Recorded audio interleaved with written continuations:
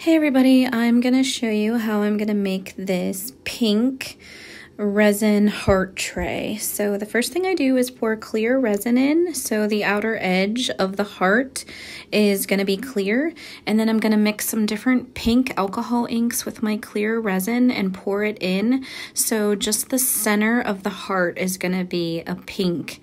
It's going to be translucent and um, then I'm going to add some pink foil flakes and spread them throughout the heart. And then we're going to unmold tomorrow and show you what the finished piece looks like.